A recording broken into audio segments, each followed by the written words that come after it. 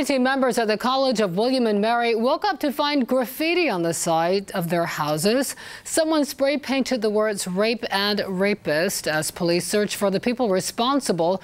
The vandalism is sparking a serious conversation on campus. Nico Clemens reports. A disturbing find at the College of William and Mary. Graffiti targeting fraternities. The words rape and rapist spray painted on several fraternity houses and a community building.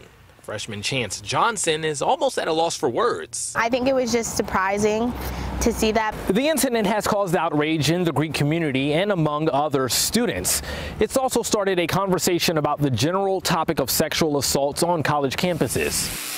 According to the 2017 annual campus security and fire safety report for William and Mary, the number of reported rapes on campus grew from 3 in 2014, 7 in 2015, and 10 in 2016. The graffiti also comes three months after the Department of Education's Office for Civil Rights launched an investigation into how sexual violence is handled at William and Mary. This is the second federal investigation at William and Mary, the first back in 2014.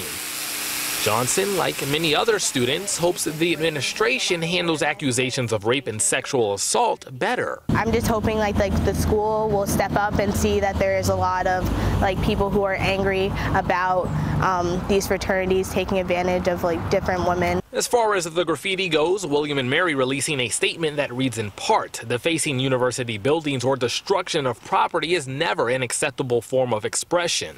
At William and Mary, I'm Nico Clemens, 13 News Now.